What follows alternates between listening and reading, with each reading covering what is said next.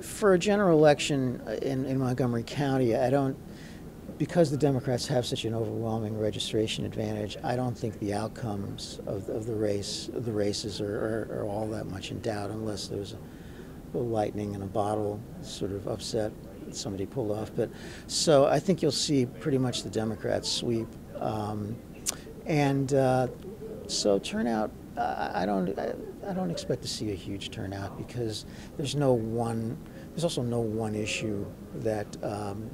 that is, is sort of capturing people's imaginations. And really, in Montgomery County, the primary is the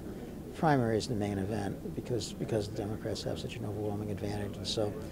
this is a little bit of a anticlimax, I think.